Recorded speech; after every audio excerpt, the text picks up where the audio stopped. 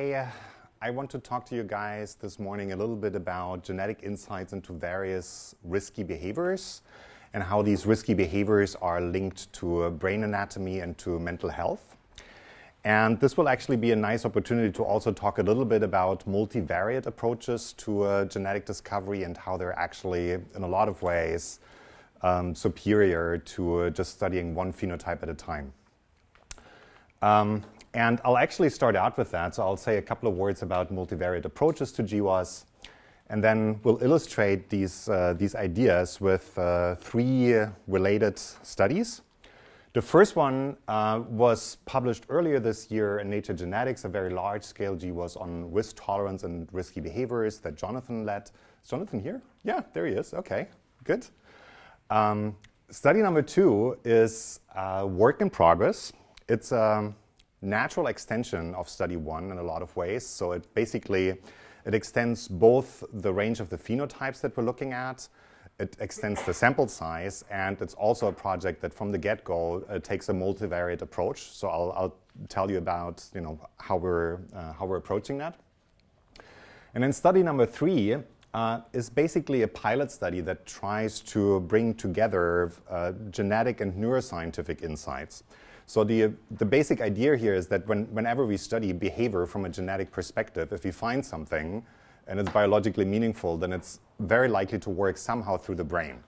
But how exactly uh, is an interesting question, and we're, we're going to use some newly available data to start tapping into that. So it's sort of a, it's a pilot project.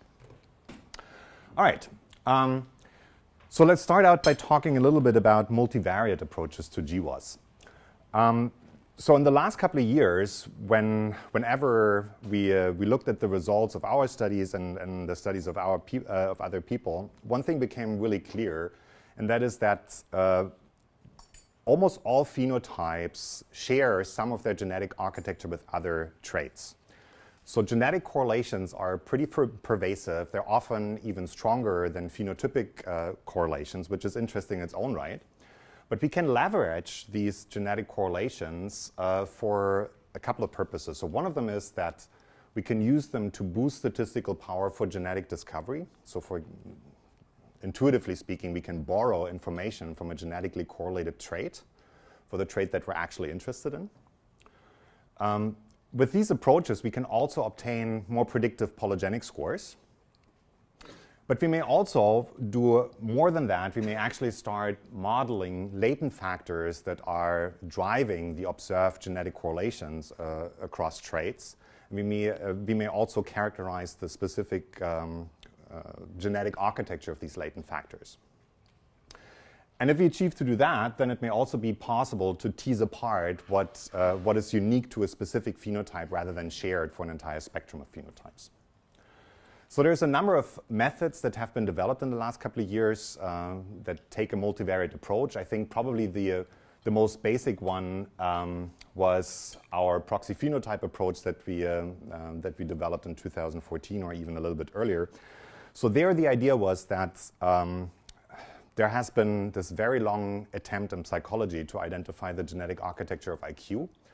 But if you, if you have ever taken an IQ test, you know that it's actually it's taking a lot of time. So it's pretty costly to collect uh, phenotypic data on IQ. And as a result of that, the sample sizes that people could get uh, with genetic data and IQ uh, were not that large. So they were typically underpowered and just not much came out of these type of studies.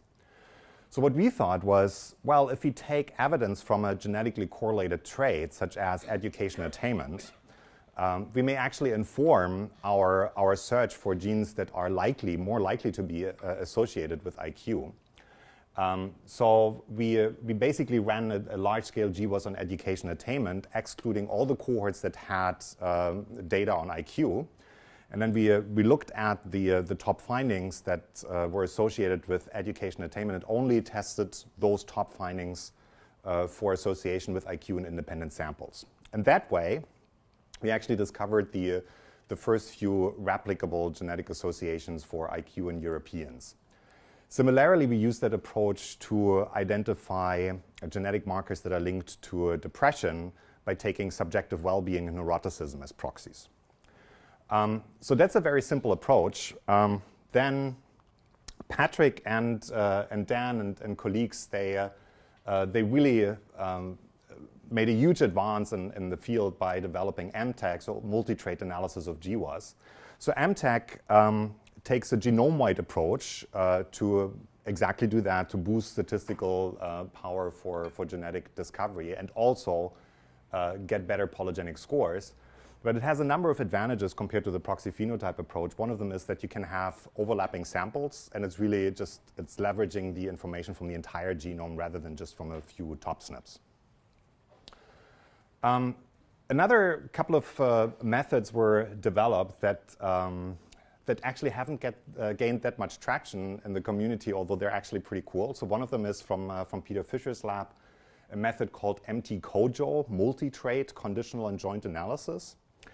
So what you can do with MT-COJO is you can, you can basically, if you have two genetically correlated traits, let's say education and IQ, and you see that their genetic correlation is not perfect, you can back out the part of the genetic architecture of a trait that is not shared with the other one.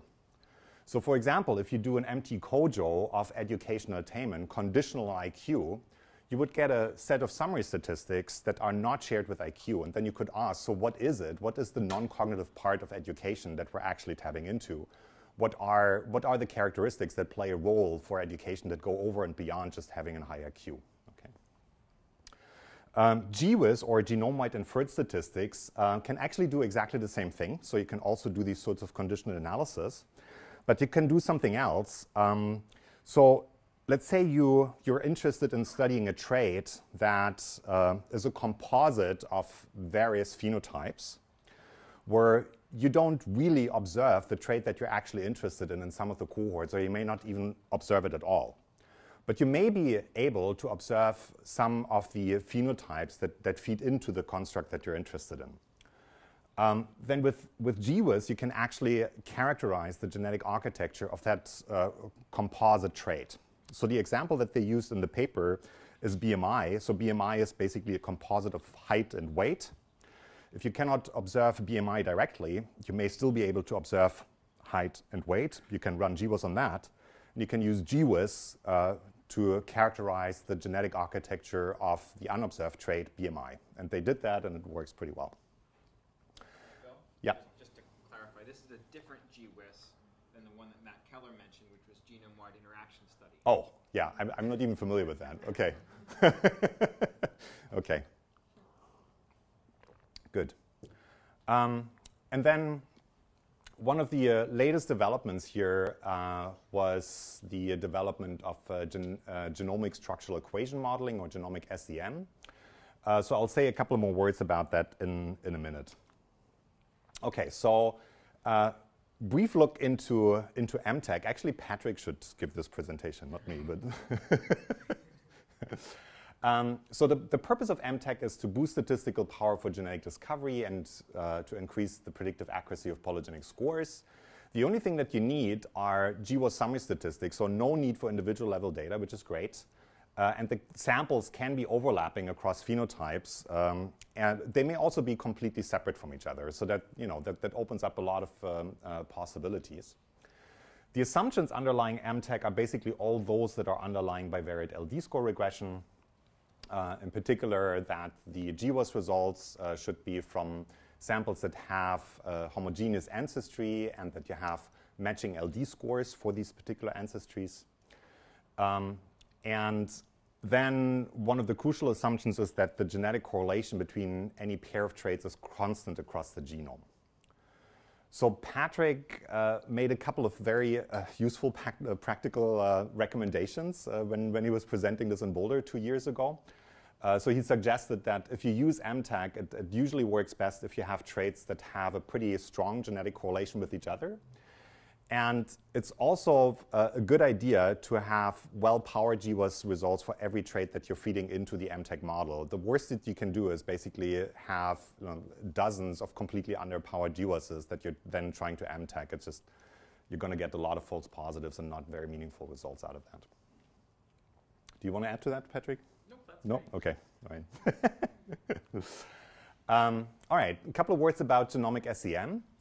Um, So we published this in Nature Human Behavior earlier this year. And this is really led by, by Elliot Tucker-Drob and, uh, and Andrew Grotzinger. And uh, genomic SEM is um, sort of like it's, it's a framework for implementing various multivariate approaches to, uh, to GWAS summary statistics.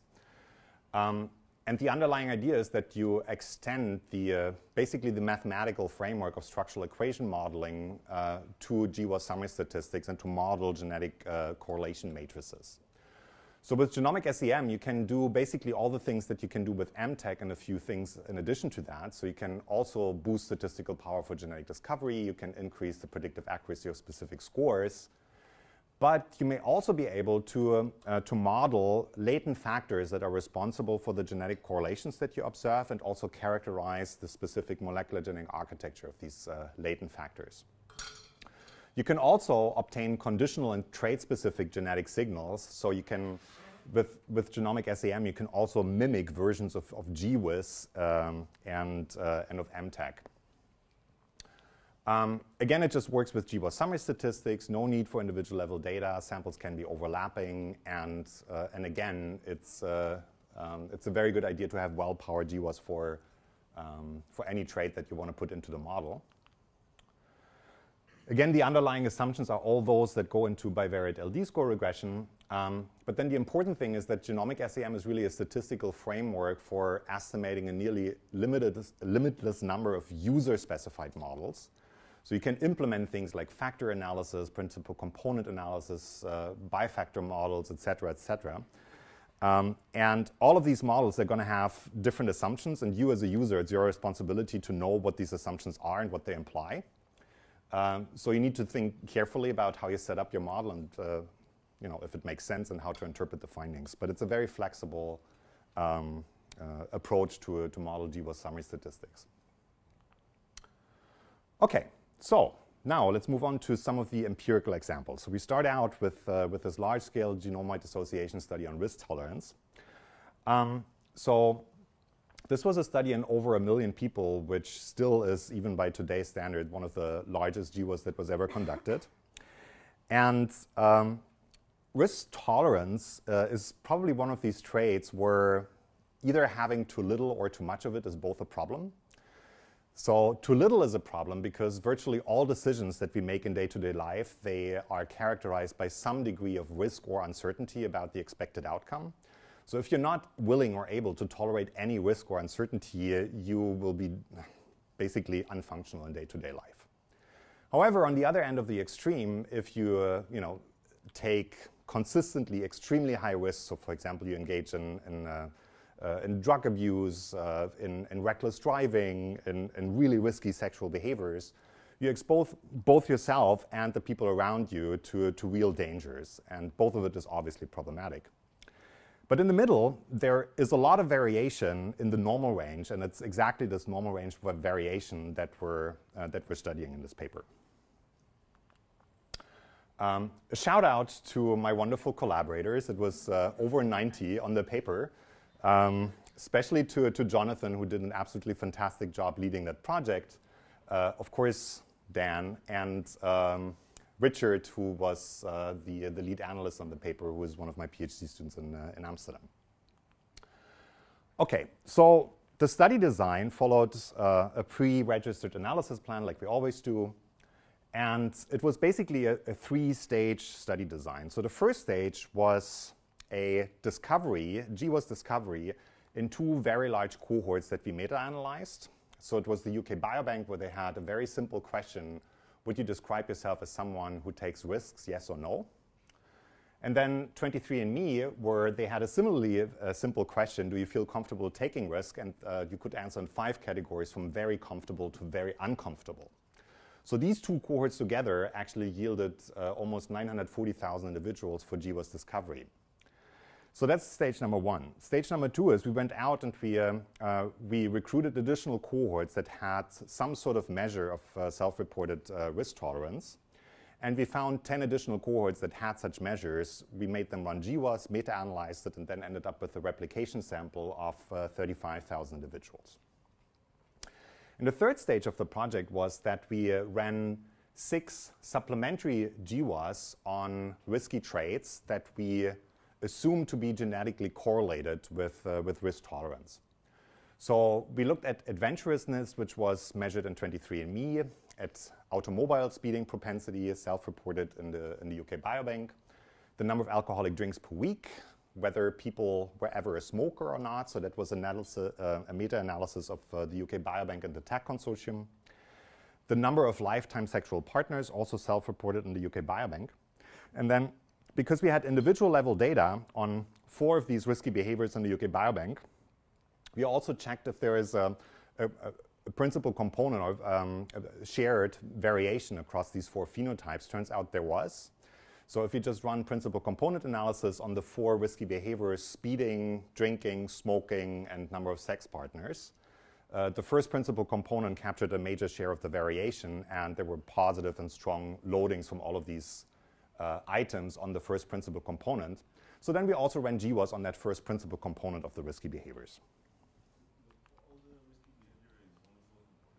They're all self-reported. Yes, absolutely. Yeah.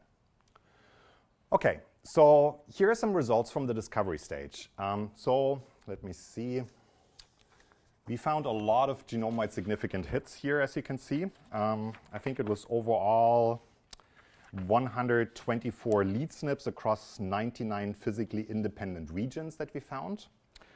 Um, the, the, top finding here, uh, this is on chromosome 3, the CADM2 gene. Um, so this, this one is intriguing. It's interesting because um, CADM2 recently popped up for a bunch of other GWASs as well. So it popped up for, for BMI, for education attainment, for information processing, for cannabis use, for alcohol use.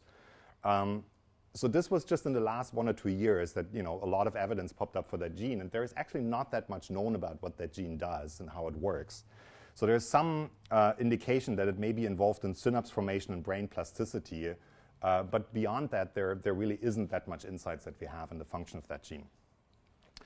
Um, the second highest hit was on chromosome 7, FOXP2, so that's actually an, an old-time favorite. Uh, so that one has been known for quite a while to be involved in the development of uh, speech and language. And we also previously found it to be associated with education attainment and with IQ. And then I'm just pointing out uh, there's another interesting one here on chromosome 18. This is the TCF4 gene, um, which is believed to play a role in uh, the development of the nervous system.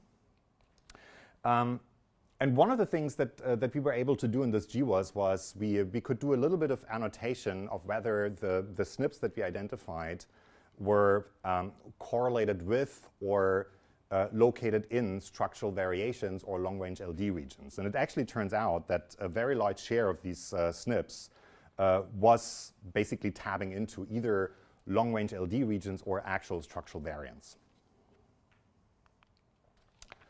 Okay, so the, uh, the replication stage, uh, like I said, it was this meta-analysis of, uh, of 10 cohorts. And the genetic correlation between discovery and replication cohorts was uh, high, um, 0.83, so not perfect, but definitely high.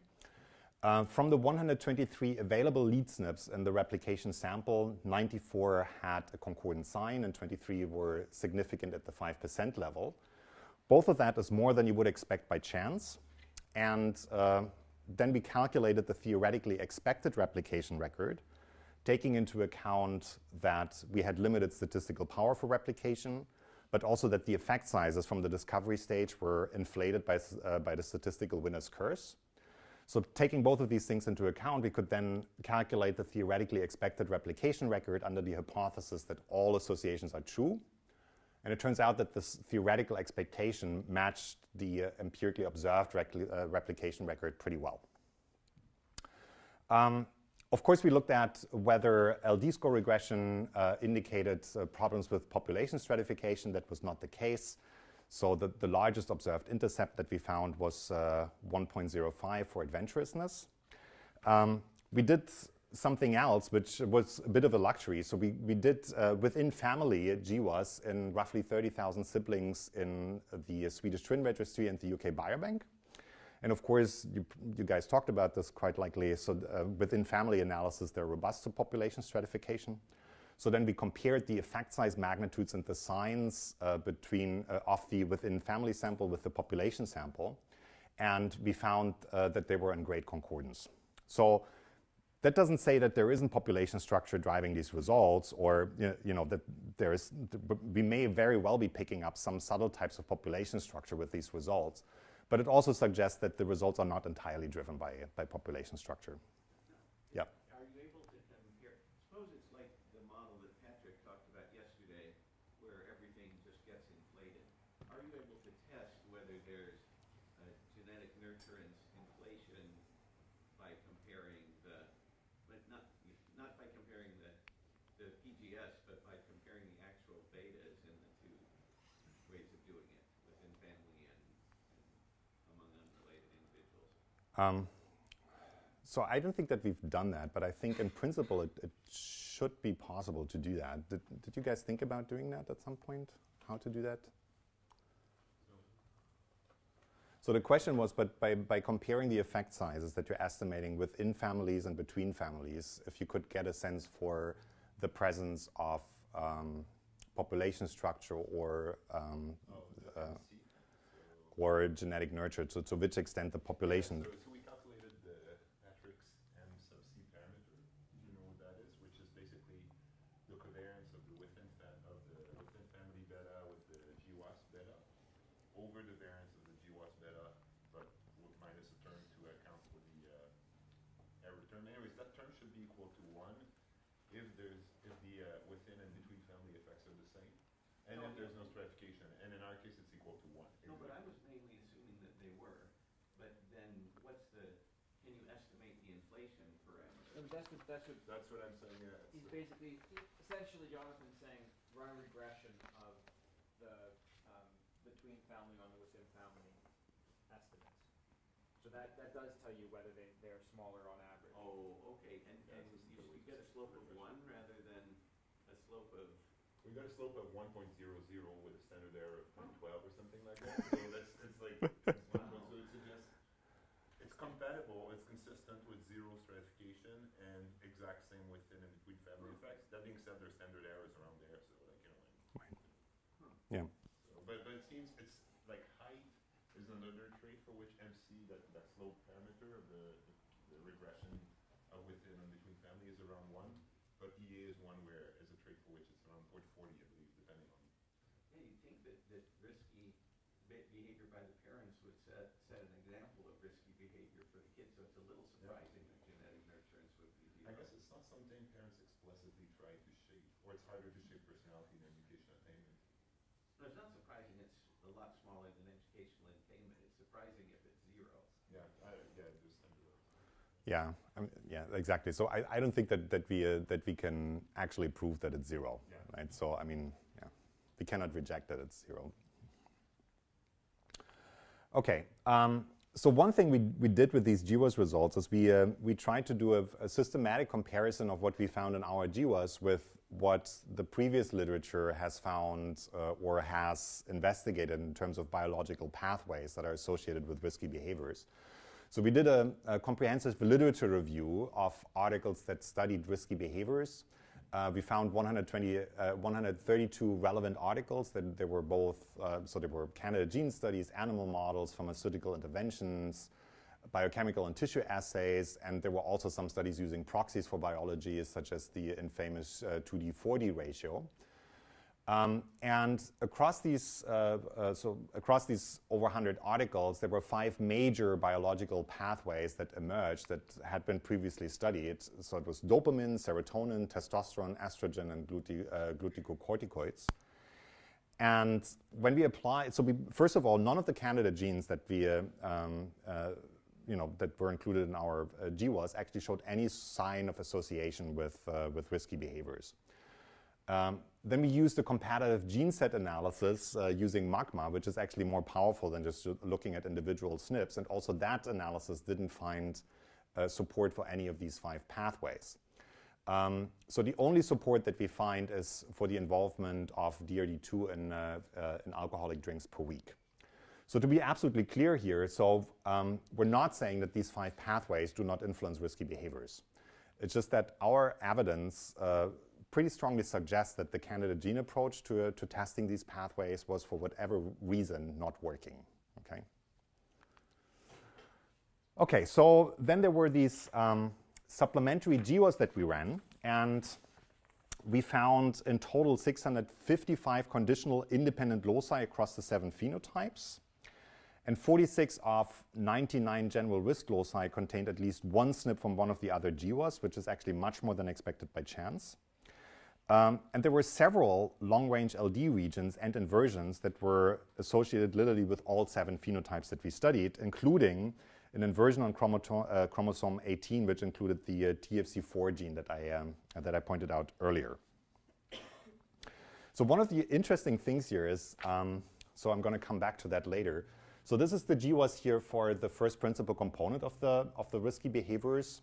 And that GWAS, although you know, it was one of the smallest GWAS samples we had overall, with around 300,000 observations or so, it also found 106 lead SNPs. So you know, we, we definitely were also able to identify uh, genetic variants that are associated with uh, risky behaviors across various domains. Um, the genetic correlations between our primary phenotype risk tolerance and these uh, supplementary phenotypes, they were all positive and, uh, and significant. So the strongest one that we found was actually between risk tolerance and adventurousness. So that was a, in the range of 0.8 or something like that. Um, it was always greater than one, uh, 0.25 with the other traits. Um, so with automobile speeding, propensity, drinks per week, smoking, number of sexual partners, and also the, the first principal component. And then we looked at other domains, uh, whether they're genetically associated with risk tolerance, and we found um, definitely some genetic overlap of risk tolerance with some dimension of, uh, of personality, such as um, conscientiousness, extroversion, and neuroticism. Um, interesting, we, we found a pretty strong genetic correlation with, uh, with self-employment. Um, and we did find some moderate uh, genetic overlap with several neuropsychiatric disorders, including ADHD, anxiety disorder, bipolar uh, disorder, and schizophrenia. So here's an example of uh, the, uh, the advantages that you have if you use a multivariate approach to genetic discovery. So uh, here are the results from an MTAG analysis that was uh, pooling the various phenotypes that we had into, into an MTAG analysis to basically boost the, uh, the, statistical power for, for general risk tolerance. And you clearly see that the MTAG results, so the, the, um, um, the QQ plot uh, takes off much earlier, so there's much stronger signal. And the number of uh, lead SNPs actually increases from 124 to 312. Okay, and then the polygenic scores. So we, we tested whether these polygenic scores are associated not only with the primary phenotype that we're interested in, but also with a range of other phenotypes uh, that had been suggested uh, both in the, in the previous literature and by the genetic correlations that we found. So if we just try to predict um, general risk tolerance out of sample, we find that the polygenic score captures something like between 1 to, uh, to 1.5, even up to 2%. It captures also some of the variation of um, risky behaviors across various domains, such as financial risk tolerance or, uh, or income gamble uh, risk tolerance. What it doesn't predict is actually the, um, uh, the incentive compatible, uh, compatible lotteries that are used uh, to elicit risk tolerance in, in economic experiments. So um, for whatever reason, we're not able to predict what, what is happening there. We do predict, however, variation in, uh, in things like openness, extraversion, sensation seeking, boredom uh, susceptibility, uh, experience seeking, behavioral disinhibition, and even ADHD symptoms. Um, we can also predict some risky behaviors, such as number of sexual partners or whether people ever used uh, cannabis. And by the way, so if uh, these um, these, uh, what is it, these striped bars, they indicate the predictive accuracy that we're getting from MTAG. Uh, so you see that across the various trades, typically the MTAG score does a little bit better, uh, which is uh, as, as, it should be. Um, we can also predict some of the variation in whether people ever started a business or were an entrepreneur. Um, and, um, well, obviously also the, um, um, the uh, the additional um, supplementary phenotypes that we looked at in the UK Biobank, such as the first principal component of the risky behaviors. So the bioannotation uh, of these GWAS results um, suggests that the uh, balance of uh, neurotransmission between glutamatergic and GABAergic neurotransmission is actually important for risk tolerance. Again, we don't see any evidence in the bioannotation pointing to these uh, previous candidate uh, biological pathways. But we do pointers to specific um, areas of the brain, such as the basal ganglia, which has been known for a long time to be uh, um, involved in the, the, reward system in humans uh, and uh, has been suspected to be involved in uh, decision making under risk and uncertainty. The amygdala, which is um, partly responsible for emotional responses to the environment, such as fear and anxiety. And maybe a little bit more surprising, we also have pointers to the uh, frontal cortex, uh, which is responsible for a very wide variety of tasks and functions um, and has many dopamine receptors and is likely to be involved in dopam uh, dopaminergic pathways. So it may be that you know, indirectly we're actually do capturing something that has to do with, uh, with these dopaminergic pathways. And then probably the most surprising thing was the, the cerebellum, where um, neuroscientists typically ignore the cere cerebellum when they, when they study higher order uh, functions. Um, but it turns out that our GWAS results points to that area of the brain. Um, I would take that with a grain, with a little bit of grain of salt. So, you know, for various reasons, I wouldn't put too much emphasis on these uh, um, biological annotation results, but they're definitely intriguing. So, so just, yeah. just two comments to add on biological annotation. To go back to previous slide. Yeah. So, first, one thing, uh, actually, James is the one who uh, had pointed out, who was also a co-author, um, is that glutamate and GABA uh, really pop out enormously. You mentioned that, but that's quite interesting because they're the uh, the main uh, excitatory and inhibitory neurotransmitter in the brain. Yeah. So uh, this is um, what I'm going to say here is very very speculative, but um, it's kind of one one interpretation of that would be that risk behavior biolo- biologically is modulated in part by the balance between what's excitatory in the brain, like uh, and inhibitory. Uh, I guess the intuition would be that more excitatory stuff leads to more risk, and inhibitory Right. less risk. Anyways, that's very speculative, but it's an inter- interesting hypothesis. And the other thing I wanted to mention is based on the second graph. What's fascinating there is that this these areas that popped up, where a lot of the areas in what's called the cortical basal ganglia circuit Exactly. is what's been highlighted in neuroimaging studies Yep. of decision making. In neuroeconomics, often there's a, Yep. uh, that circuit often pops up, and many of these parts of the brain pop up as being very important for economic decision making. So we have again, I don't want to push this too far because this is relatively preliminary biological results and uh, you know early day GWAS, I guess in the grand scheme of things. But still, it's interesting to see this convergent e- evidence between genetics and neuro- neuroeconomics. Right. Right. So um, just adding to that, so we, we recently had a conversation with uh, several neuroscientists and biologists about these results, and, and one of them said, well, okay, so if you find uh, if you find GABA uh, and uh, glutamate, you basically find the brain because that's that's the main stuff that's going on in the brain. So so he was like, so that's okay. You have brain. maybe, maybe John, that's true. So, but, but in no other in no other GWAS of uh, neuropsychiatric or psychological trait, these these two come out together. Right. So, except EA now EA three, except EA three was so, such a big well-powered GWAS that everything popped out. Yeah. So, I don't understand. So, so it seems that that's more specific to Restaurants than for many other. But yeah, point taken. Yeah. It's also Okay, well, okay, so wrapping this up, so we, we found almost 900 loci across the seven phenotypes that we studied, and about a quarter of them, they were actually located in long-range LD regions or in candidate inversions. Uh, so I actually think that this is also uh, kind of interesting, and it, it, uh, it may suggest that you know our strategy currently, which only looks in, uh, at single nucleotide polymorphisms rather than structural variants, may actually miss an important part of the picture. So it could be that if we actually look at the structural variants that we, uh, that we would find uh, some of the missing heritability. Um, clearly, this, the findings also suggest that there is a heritable general factor of risk taking which cuts across domains. Um, and as we already discussed, so the bioinformatic analysis, they do point to specific areas in the brain, to the balance of uh, excitatory and inhibitory neurotransmission. Uh, whereas we found very little support for the candidate genes and, and, pathways that the previous literature had identified. And of course, you can find the summary statistics and the FAQ on, uh, on our website. Yes? Um, not in this paper. I'm, uh, I'm going to show you some genomic SEM results uh, coming up. Yeah, yeah. Yeah, I totally agree. Yes.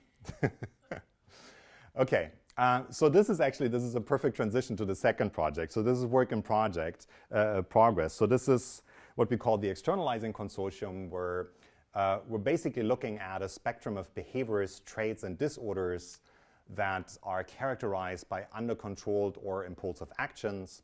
So in, in psychology, there's usually there's this big um, there are like these these two major families of, uh, of disorders. One is externalizing, which is uh, all the things that we're looking at here, and the other one is internalizing, which includes things like uh, like depression and neuroticism. So to the externalizing spectrum, people typically count things like ADHD, childhood conduct disorder, oppositional defiant disorder, antisocial behavior, but also uh, alcohol and other drug use disorders. Uh, but importantly, also all personality traits that are um, at least partially characterized by behavioral uh, disinhibition, such as risk tolerance or extraversion or sensation seeking. Okay. So what we know from the previous literature is that um, all dimensions of the spectrum are heritable. Uh, so this is from twin studies that, that obviously showed all of this stuff is heritable. But these twin studies also suggested already that this heritability is partly shared across the entire spectrum. So the hypothesis has been that uh, there may be, a, you know, there may be a, a common genetic architecture of uh, an externalizing factor that, uh, that is responsible for these both genetic and these phenotypic correlations. Until now, of course, nothing is really known about the molecular genetic architecture of, um, uh, of many of these traits and, and also of the uh, uh, potential latent factors, obviously because we need very large GWAS sample sizes for that, but now we can actually start doing that.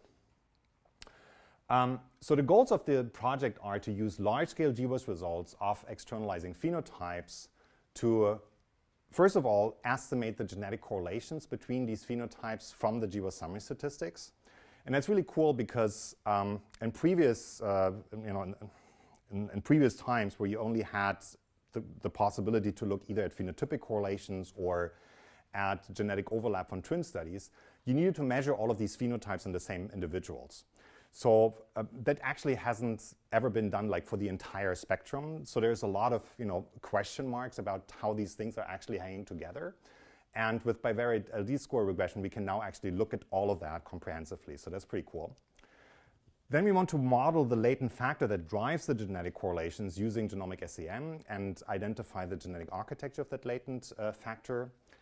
And obviously, we also want to uh, use the genetic correlations that we're observing to boost the, uh, the, statistical power for genetic discovery of each of these phenotypes and thereby also get uh, better polygenic scores. So we expect that uh, we're going to have a, a, combined sample of more than 1.2 million individuals in the end. And of course, we're going to make the GWAS summary statistics publicly available both for each of the uh, phenotypes that go into the model, but also for the latent factor that we're, uh, that we're identifying. And of course, we're again following a pre-registered analysis plan that you can find on the Open Science Framework. Okay, so here is my externalizing team. Um, Richard going wild in a gun range in Texas. Travis having way too many drinks at BGA. And my lovely co-investigators, Paige Harden and, uh, and Danielle Dick. Okay, so currently we have a set of um, 11 phenotypes where we had both uh, well-powered GWAS summary statistics uh, in the public domain or where we could actually just obtain them ourselves. Uh, and the, yeah, so all of these phenotypes have been chosen both based on data availability, sample size, but also on theoretical grounds. So we have ADHD, age at uh, first sexual intercourse, alcohol dependence, uh, so that's actually that's a meta-analysis of uh, the PGC, the Million Veterans Program, and the GWAS that we ran ourselves on the audit P score in the UK Biobank. Uh, automobile speeding and drinks per week are our own results from, uh, from the 2019 paper. Education attainment, this is uh, basically Lee et al. Um, I think we, we took out the 23andMe results for logistic reasons. And a part of the UK Biobank that we're going to use for, for replication purposes. So this is why this is smaller than the, um, um, than the Lee et al. paper. Ever cannabis use is again a meta-analysis of the ICC uh, uh, paper by Stringer et al., 23andMe, and uh, UK Biobank. Then we ran GWAS on irritability in the UK Biobank. Uh, we used ever smoker and risk tolerance and number of sexual partner GWAS results from, uh, from our own 2019 paper. Yes? Um, I had a quick question kind of about some of the, uh, so some of the phenotypes that were chosen in this Yeah. case. Because, I mean, there's certain things like you talked about teenage conception. Yeah. Now, obviously, that's highly socially stratified Yeah. in terms of availability of sensible sex education. Yeah. And other kinds of factors. So, how exactly do you account for the fact that there is social stratification involved in any of these? So, I mean, so the only thing that we can do here is uh, the standard thing that we always do in GWAS, which is basically trying to rule out population structures as much as possible by including, you know, principal components from the genetic data and by using mixed linear models. But you're totally right that it's quite possible that there is, you know, very subtle types of population structure, maybe even at the family level, that we may not get to with these uh, results. And actually, part of our follow-up analysis is going to be based on samples of twins and, uh, and if, if we're lucky, also in samples of trios, where we hope to tease that apart exactly. So how much of it is actually biological and how much of it is, uh, you know, environmental, uh, environmental factors that are correlated with the genome for whatever reason, right? Uh, but at the GWAS discovery stage, you're totally right. We, we cannot be 100% sure that we actually disentangle these, uh, these things. SES, for example, even was not considered as one of the covariates.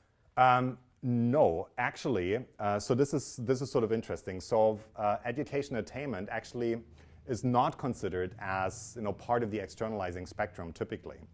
However, the absence of education attainment uh, is, as you will see in a minute, is genetically very highly correlated with many of these uh, ex, um, uh, these externalizing phenotypes, such as ADHD and uh, um, you know conduct disorder and, and so on and so forth.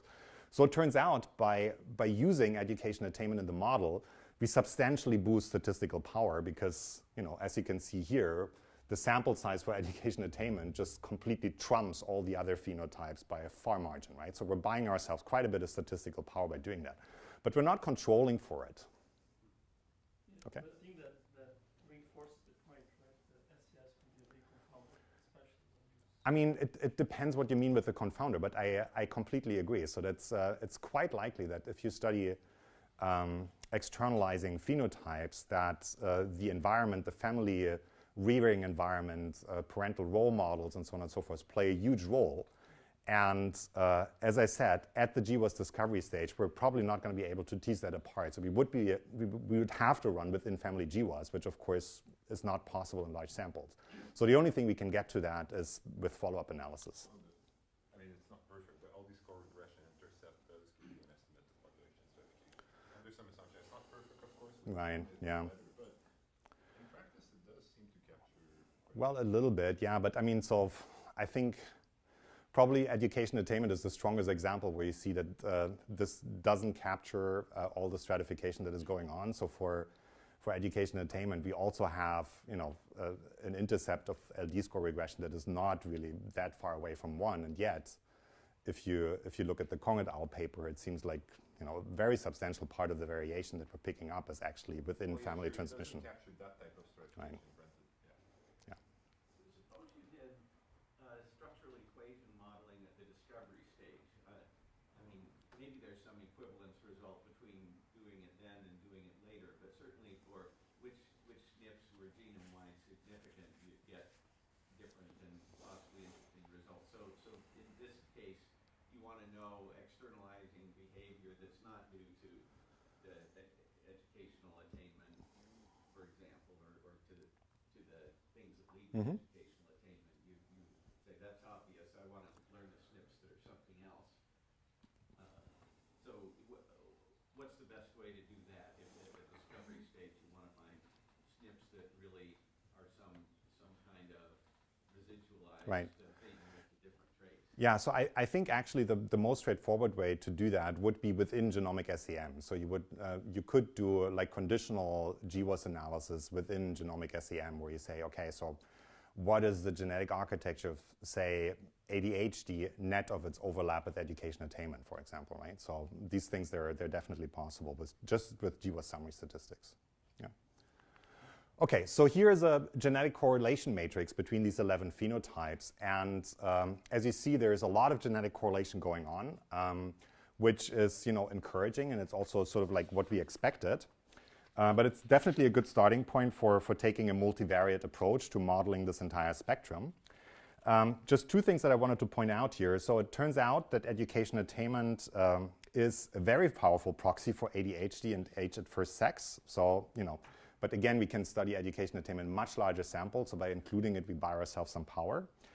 Also interesting is that higher education attainment is genetically positively correlated with the number of drinks per week, but negatively with alcohol dependence. Uh, so that actually suggests that social drinking is, uh, is genetically not identical with, with actual alcohol abuse or you know, uh, AUD diagnosis, which is actually also something that, that um, previous papers uh, showing uh, have also been showing. Yes. Uh, just a quick comment. Sorry, a quick comment on that. There's a PhD student in our group looking into this, and he found that if you stratify the consumption as beer versus wine or champagne, you actually see that there are opposite things happening with entertainment. That's really cool. Okay. Yes. Did, did your student look at uh, at hard booze as well? uh, I'm not sure. So I, I guess hard booze is like you know that, that gives you the most bang for the buck if you just want to get there quickly. Yeah. Okay. So a lot of these things are, are most of them are self-reported, right? Yeah, So we, yeah. do we think that, you know, all these correlations with education attainment could be something about people different SES reporting it differently? How, how, how much of a deal you think? Right. Maybe So-? Yeah, it's, it's I yeah, I mean you're totally right. So most of these things they are self-reported. Only some of them are actually based on clinical diagnosis. So some of it is, of course, is uh, case control cohort. So for example, um, alcohol dependence. Uh, so the PGC and the Million Veterans Program, there are two very large-scale, you know, case control cohorts uh, with clinical diagnosis. The same is true for ADHD, although that, that sample is not so large. But I totally take your point. So one of the reasons why we see these genetic correlations could very well be that there is you know, some sort of misreporting bias going on, which is consistent across phenotypes. So the way that we're going to deal with that is actually in the replication the follow-up stage, where we're going to take polygenic scores uh, to actually try to predict uh, clinical outcomes and, and, you know actually observed behaviors rather than self-reports. And hopefully we're going to find that not, not all of it is driven by that, which I'm pretty sure we will find. But we cannot rule it out. Yeah. The other, the other thing you could do is you could, suppose you had a, a, a large number of self-reported traits, and, well, and, uh, and then you categorize them by their social desirability. So Yeah. you could, you could Right. get independent judges to categorize them each by social desirability and try to see if you got a factor that, uh, that was like that. Yeah. And, and th- there probably is, and, and you. It could be. About how big it was. Yeah, it could be. So let me, let me show you our preliminary results from the multivariate uh, genomic SEM model. So we, we were trying to fit um, several structural equation models with, within S, uh, genomic SEM. And the, uh, the model that had the best fit with the data is a bifactor model, which assumes that there is one broad factor uh, on which all of the items are loading. And then it allows for the presence of additional uh, specific factors, and all of these factors are assumed to be orthogonal to each other by construction. Okay, and this bifactor model is actually, um, you know, fitting our uh, data the best. If you look at it, um, the, uh, all of the phenotypes that we're fitting into the model, they're, they're loading on the broad externalizing factor the way that you would expect them to do. So that suggests that there actually is, you know, a, a general externalizing factor that, uh, um, that has a genetic architecture that, that cuts across various domains. Um, and the, the highest loadings that we observe here, uh, they actually come from sexual risk taking, from smoking, and from cannabis use. Then we find a second factor. Um, we call it here alcohol and tobacco, but honestly, I think it's, it's almost exclusively an alcohol factor. So uh, the, the alcohol phenotypes, so alcohol problems, but also number of drinks per week, they both load on the general externalizing factor, but they also load on this completely orthogonal additional factor, which suggests that you know part of the genetic architecture of alcohol consumption is shared with other externalizing phenotypes, but there's clearly also a part that is clearly specific to, uh, to alcohol. The ever smoking um, only has a relatively small loading here. It's a 0.16 loading, whereas smoking actually loads very highly on the broad externalizing factor with uh, 0.73. And then there is a residual factor, which is a little tricky to interpret. We're, we're, currently calling it socially stratified risk, which is, you know, getting into what, what you guys were suggesting already. So what this thing captures is primarily an absence of education attainment, which goes along with um, ADHD and um, age at first sex. Um, but it also goes along with a reduced risk for reckless driving, uh, a reduced risk for, for cannabis use, uh, lower general risk tolerance, and a lower number of sexual partners.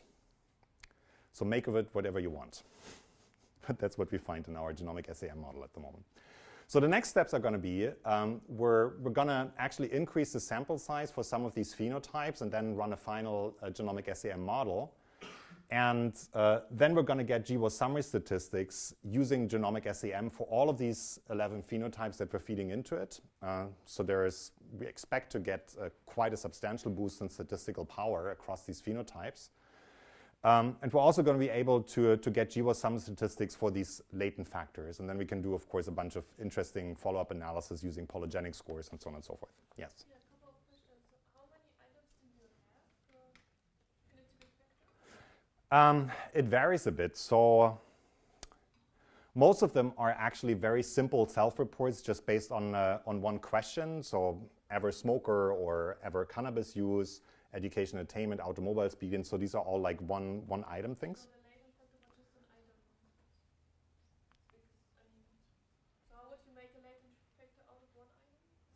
No, no. So the, the latent factor is this, right? So this is the genomic SEM model. Yes. These-. No, the, these are the GWAS summary statistics uh, that, that we're feeding into the model, right? Yeah. And the latent, uh, so the socially stratified risk and the alcohol and tobacco, you said they're orthogonal? They're orthogonal by definition. Yeah. So that's yeah. So that's the assumption of the bi- bifactor model that they're orthogonal to each other. Yeah. So basically, this thing here is sort of like it's a junk factor that picks up whatever you know we're not picking up with the with the other two. Yeah. Yeah. Sorry. The, the third factor, yeah, so the social strati- socially stratified risk. So that's yeah, that's capturing whatever we're not capturing with the other factors. And then, of course, there's some residual, you know, trait-specific variants that none of these three latent factors is picking up. So this is like these these little errors that you see here, um, bumbling around. Okay. Um, few more words about the uh, the brain anatomy and risk behavior. So this is, as I said, this is um, work in progress that is trying to connect neuroscience with uh, with genetics where we're basically asking two questions. One is, are anatomical differences in specific brain regions associated with risk taking in real life? And then, second, if that should be the case, do the genetic effects on risky behaviors predict differences in brain anatomy? So, the first thing we're going to do is we're going to try to, to see if there is robust associations between features of brain anatomy and risky behaviors. And then we're going to see if any of these regions that are significantly associated with risky behaviors can be predicted by our polygenic score for the first principal component of risky behaviors. Again, shout out to my wonderful collaborators. So this is uh, Giddy at, at, uh, at Wharton and Remy. Did he ever show up here? He was supposed to come. Remy? No. Okay, so he didn't come. Very smart guy. Um, a little bit all over the place. And uh, Göcki, who is uh, um, taking primarily the lead on the neuroscientific analysis, and he's at uh, the University of Zurich. The data that we're using is UK Biobank data, uh, which, of course, as you all know, is not representative, but it's a much broader um, uh, you know, exposure of, of the entire population than most uh, neuroimaging studies. And the UK Biobank is currently co um, collecting brain scans on um, a huge number of people. So ultimately, they will uh, they will have brain scans for 100,000 people. They're already at 20,000, which is absolutely phenomenal. I mean, it's uh, nothing like that has ever been done before. Um, so how, do, how does our study relate to previous work? Well, previous work was primarily done in, in lab experiments that were very small scale, so typically 100 people, hardly ever more than that. And of course, in the lab, they took convenience samples, mostly students that were performing um, you know, artificial tasks, rather than actually looking what they do in the, in the wild, in the real world. And uh, primarily, neuroscientists have looked at functional MRI. So we're looking at you know, activation patterns in the brain rather than anatomical differences in brain structure and volume. So our contribution is going to be, you know, it's the largest study to date, um, like orders of magnitude larger than what has been done uh, previously. We actually process the brain images ourselves to get better resolution than what is provided by the UK Biobank. Because it's a population sample, um, uh, with you know, measures of real life risk taking and a lot of other phenotypes, we can also um, actually control much more rigorously for potential confounds than is typically done in the neuroscientific literature. So, uh, one thing that is actually never done in neuroscience is to control for population structure, although that is obviously a problem there as well. So, we can do that with our standard uh, you know, 40 principal components. And then obviously we control for birth year dummies, sex, their interactions, height, handedness, total intracranial volume. And again, following a pre-registered analysis plan. What's that? Um, because we didn't want to calculate everything from scratch, and you know, uh, yeah, we, we could just as well run PCA and include 500. It doesn't really matter. It's like you know, the, the differences are really really marginal. Once you throw in five or six, it's mm-hmm, yeah, doesn't really make much of a difference anymore at that point. we just took what uh, what is available. Um, the outcome is this first principal component of risk tolerance that I mentioned, which we also studied in the risk preference GWAS. And here are the factor loadings uh, on, the, on the principal component. So it's drinking, smoking, speeding, and sexual behavior. Um, so as I said, we process the data ourselves, which means that we, uh, we also have voxel level gray matter and white matter volume, so not only at the level of uh, regions of interest, but actually at the voxel uh, level. And then we use the permutation test to work out just how many independent hypotheses are we really testing with that, uh, uh, with that large amount of data that we're having at our hands. And the Bonferroni adjusted p-value is then something like 7 times 10 to the power of minus 7. Okay, so this is, these are the results that we find in a sample that excludes heavy drinkers. And I will show you in a minute why we exclude heavy drinkers. So what we see here um, are basically um, associations that survive Bonferroni correction, um, and all of these associations uh, are negative, meaning that reductions in gray matter volume in these indicated regions are associated with more risk taking. And um, the regions that we're pointing to belong primarily to the reward network.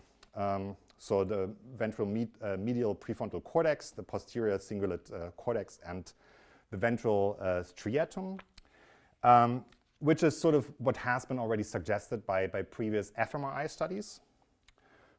what is not so well known until now is the involvement of the uh, frontoparietal executive control network. So there in particular, we have pointers to the inferior frontal sulcus, the anterior insula, and the posterior parietal cortex. So this is a sample um, excluding heavy drinkers, almost 30,000, uh, 13,000 individuals. Now I'm going to show you what the contrast looks like if we do include the heavy drinkers. So people that, you know, we excluded here in this one, women that had more than 18 drinks per week and, uh, and men that have more than 24 drinks per week, you would be shocked how many people in the UK actually meet that definition. um, and here is what we get when we include them. So then basically you have much stronger association signal and it's basically all of the brain. And again, all of these associations are negative, meaning that reductions in gray matter volume are associated with more risky behavior. So this raises the question, um, you know, what is the egg and what is the chicken? Uh, so is it, you know, is, is it differences in brain anatomy that make you behave different, or is it your risky behavior which then actually influences your brain? So this is another project that we're currently working on, uh, which uses several approaches to try to tease out that, that causal pathway, including various versions of Mendelian randomization and longitudinal approaches and so on and so forth. And it seems to be the case that at least for heavy drinking, um, that it actually causes brain damage, so that it literally leads to a reduction of gray matter volume. It, basically, it destroys neurons and they're not growing back. So next time you go out and have a really good time, maybe keep that in mind. Um, okay, now back to the, uh, um, to the sample without the, the heavy drinkers. So now we're trying to see if a polygenic score for these risky behaviors is actually predicting differences in gray matter volume in these regions that we found to be associated with risky behaviors. So we constructed the polygenic score by rerunning the GWAS in the UK Biobank on that first principal component excluding people with brain scans and all their relatives. So we, we do clean out of sample prediction. Our polygenic score um, captures 2.9% of the variation in that first principal component of risky behaviors, which is not bad, and about 0.8% of the variation in number of drinks per week, which is pretty spectacular because that's also what uh, you know the GSCAN consortium uh, did in their paper, which is based on almost three times as many individuals as we had uh, here for this first principal component. And clearly you see that there are some regions popping up um, that our polygenic score can predict. And um, in particular, in the left and in the middle, you see pointers again to the reward uh, system, so the, the dorsal striatum, including the putamen. And on the right, you have this, uh, this pointer to the executive control network, uh, including the inferior frontal sulcus. So that's actually pretty cool, also because very little is known about the genetic architecture of these brain regions until now. So, you know, by using a polygenic score for, risk, uh, for risky behaviors, we actually learn something about the genetic architecture of these specific features of brain anatomy, which I think is actually pretty cool. Just to make sure I understand, these are regression of voxel of area level, brain matter volume on the polygenic score? That's correct. And these are the same. And is that correcting for multiple hypotheses? Yes. Yes. Yes. Okay, so these are significant. Yeah. How many are these voxel level or how many are So what we did is we, um, uh, so the original analysis that I showed you here, this is voxel level. And then for the polygenic scores, where basically uh, um, we were uh, we were looking at the regions of interest that were implicated by these voxel level results, and then we were using the region of interest like aggregate variation and, and gray matter volume. And when you do a formal mediation model where you see like how much of the uh, you know uh, polygenic risk score for risky behaviors is mediated by these three features of brain anatomy, we do see that you know that there are some you know that the indirect path they are statistically significant. Um, they're, they're, picking up a relatively small share of the overall um, covariance between the score and the risky behaviors, but each of them is you know independently um, significant. And what happens is that the polygenic score predicts lower gray matter volume in these implied regions, and then the lower gray matter volume is associated with, um, with an increase in, in, risky behaviors. Of course, don't let yourself be fooled here by the, by the errors. So the, the, the errors do not actually uh, suggest causality. So these are just how we set up the, uh, the mediation model. These are not actually causal estimates. Okay. All right, um, so in this project, we uh, find support for se several previously identified fMRI regions, including the amygdala, the anterior insula, and the ventromedial prefrontal cortex. We also see new pointers uh, to um, areas of the brain that are not known very much to be uh, you know, important for risky behaviors, such as the thalamus, the hippocampus, the putamen, the inferior frontal sulcus, and the planum temporale. And we do see that our genetic risk score actually partly um, predicts some of these um, differences in gray matter volume, in particular in the dorsal striatum and the inferior frontal sulcus. Okay, so I'm wrapping it up. So um, what I try to get across to you guys is that there are a lot of advantages to taking a multivariate approach to genetic uh, discovery. Um, and also, we see that risk tolerance is actually, um, first of all, there's you know, various forms of, of risk tolerance or risky behaviors, and they all seem to have a shared genetic component, which seems to belong to an even greater, um, wider spectrum that psychologists call the externalizing spectrum. And what this implies is actually, this is pretty cool, is that um, normal range behaviors, uh, they can be informative about the genetic architecture of much more extreme clinical outcomes. So we see that clearly in our externalizing project. Okay, I'm going to leave it here.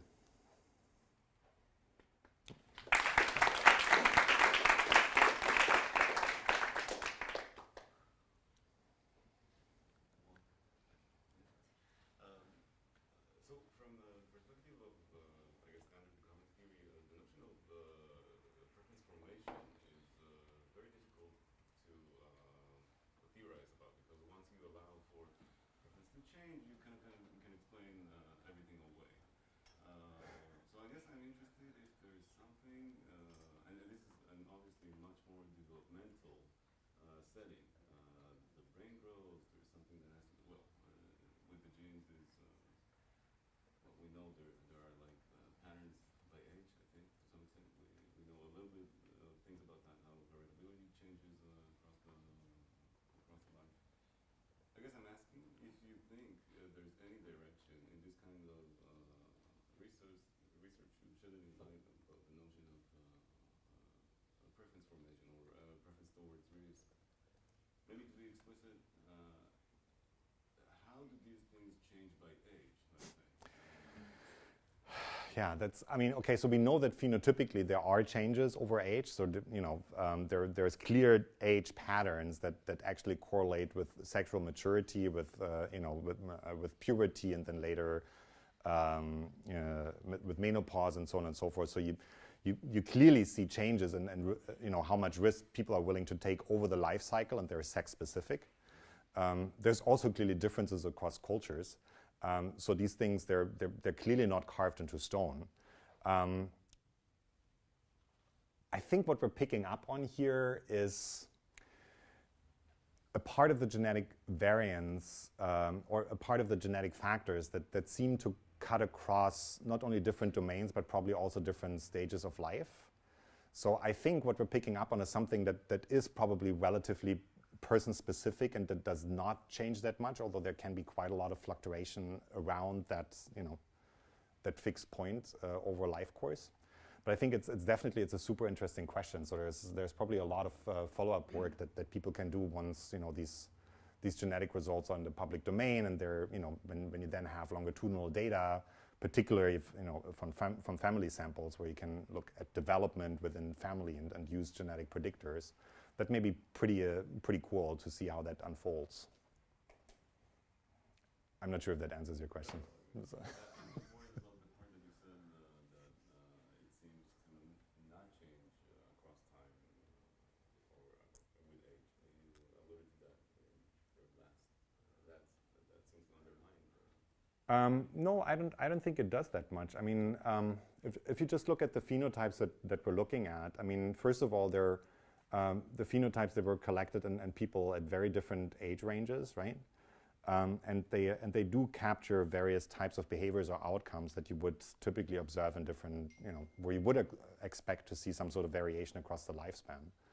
Um, and yet, what we're picking up on is genetic signal that, that seems to be predictive out of sample, and you know, that seems to suggest that you know it's not just noise. There's something real going on, which is person specific and linked to, to genetic influences. I'm just being curious because in your answer you said they're sex specific, the longitudinal differences. Yeah. In what way are they sex specific? So I mean, so the, you, you see that in the in the phenotypic data. So typically, um, especially for people like from from the beginning of puberty until like the early 40s, uh, you know, mid 40s, you see that uh, that females are much less risk taking than males. Um, and of course, I mean, yeah. Well, if, if you ever had contact with a teenage boy, you will exactly know what I mean. Yeah. So. yeah. Yeah. Actually, so this is this is one interesting thing I didn't mention, but we we did look at the genetic correlation um, for risk tolerance between males and females. Um, so obviously the question was, you know, is the genetic architecture for risk tolerance exactly the same for males and females? It actually isn't. So the genetic uh, correlation is, uh, is different from one. I think it was in the range of 80, 83, 85, something like that. So definitely enough to meta-analyze, but you know, there's also apparently a sex-specific component, even given the fact that we only looked at the autosomes. We didn't even look at the sex chromosome in our study. Uh, I have two questions. One related to that. Did you instruct uh, GWAS sources by gender? Because I know they Yeah, we did.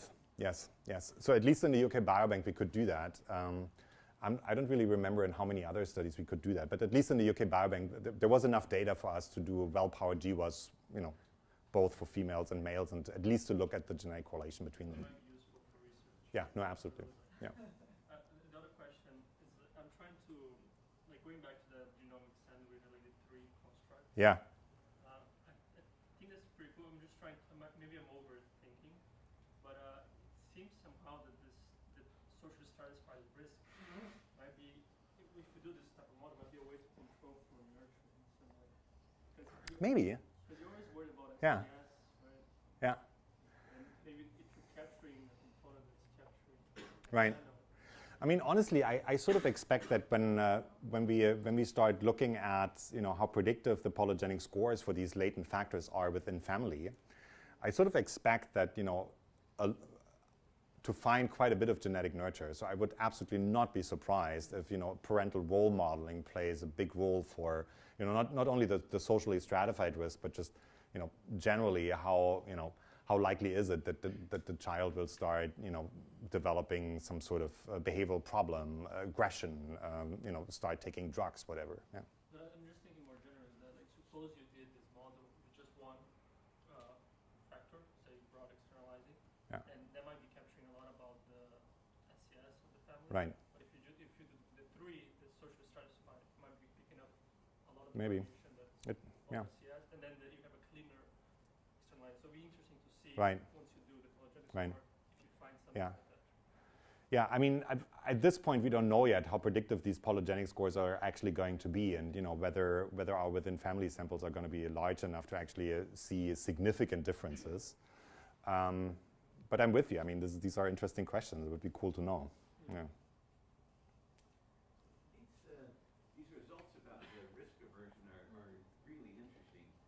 The, the, at, at present, you're, um, you're just a few percent R squared, which is a lot lower than educational attainment with Yep. similar sample sizes, which Yep. presumably is about a, noisy, in some sense, a noisier phenotype. Oh yeah. But how, uh, this is, this is a question for everybody, um, can we, can we predict how predictive the PGS will be a few years from now? Mm. So let's say you bring in Estonia Mhm. and all of us and Right. veterans, hopefully they would have Let me see. Risk tolerance question. What- Right. What, you know, even ballparking, what kind of R squared do you think you could get with the cohorts that we kind of know are coming online in the next uh, Right. So um, we, we did look at the uh, heritability of these um, uh, of these traits in uh, in Jonathan's risk tolerance paper. So we basically computed the uh, the SNP-based heritability using three different uh, methods of LD score regression, uh, HESS, and GCTA. And what we found is that you know for this very simple measure of you know are you are you likely to take risks yes or no? So we find a heritability that is not high. It's like five to you know eight percent something like that uh, which quite likely reflects the, the you know the fact that this is an extremely noisy measure. And of course you know phenotypic noise attenuates your your uh, um, your heritability estimates if you compare that to the heritability estimate that we find for the first principal component of the risky behaviors, that's actually much higher. So it's more like in the range of 10 to 15 percent. Actually, in principle, and, and, and H squared concept should correct for phenotypic noise. So especially something like that, that question, you can get a lower bound on phenotypic noise by looking at the test retest reliability. Right, right, right, exactly. Yes. correct for at least that much. Right. There's more noise than that, but there's at least Yeah. That much. Yeah, yeah, absolutely. Jonathan has done that in a, in a paper using twin estimates, correcting for measurement error. What do you find for the heritability in- for twins after you adjust for measurement error? For risk, it's around 0.50, 0.55. That's a paper with Cesarini. Um, yeah. Yeah. Yeah. I mean,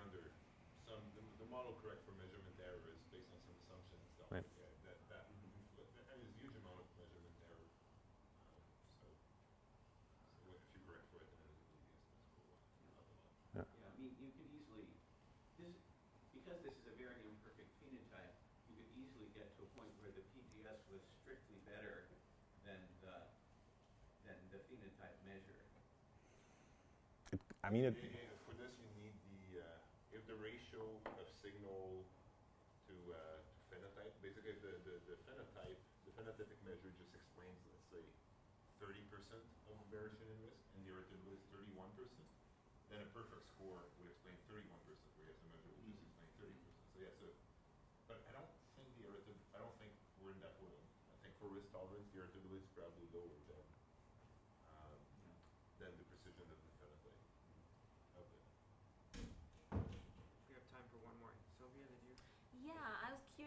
gender uh, result that you mentioned, there's like this huge debate, right? Like how much of it is social, the Yeah. difference in gender Yeah. by, of risk taking. Yeah. Do you think your results tell you anything about it, or how do you, I don't how know. do you interpret that? Um, you mentioned the genetic architecture. So what, what, what right i mean so these the, this imperfect genetic correlations uh, uh, between males and females uh, it may very well be be driven by by social factors right, so v- i i don't think we uh, we can take a very strong point doesn't really no uh, inform us about that question. no Okay. we just yeah Is there a way It could, it could be, it could be, it could be social factors. Right. well, yeah. right exactly yeah Okay, great. okay all right